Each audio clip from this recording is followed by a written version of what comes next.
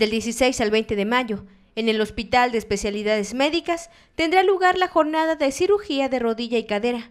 Así lo manifestó el director de la Beneficencia Pública, Orlando Alvarado. En entrevista, comentó que se pretende beneficiar a personas de Campeche, Carmen, Champotón y Escárcega que padezcan de algún desgaste articular. Para estas jornadas hay una prevaloración quirúrgica, todo ese proceso ya se llevó, fueron las personas que requerían ya de la prótesis, valoran los médicos que vienen, vienen el DF y se seleccionan a los casos que se pueden operar. Ahorita ya estamos en la fase ya quirúrgica. Es importante mencionar que esto es completamente gratuito.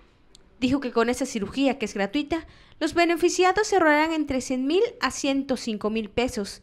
Detalló que la prótesis de rodilla tiene un costo entre los 27 a los 30 mil pesos y la operación 80 mil pesos. En cuanto a la prótesis de cadera, tiene un costo entre 30 a 35 mil pesos y la operación 90 mil pesos.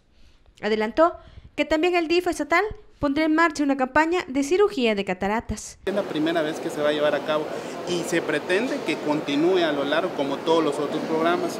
Ahorita ya tenemos también el programa permanente de cataratas.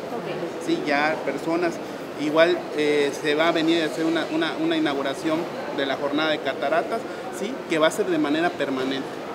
¿Qué, necesitan? Ir a las oficinas del DIF estatal y ahí le van a dar toda la información, qué documentación necesitan y cuáles son los pasos a seguir para poderse beneficiar.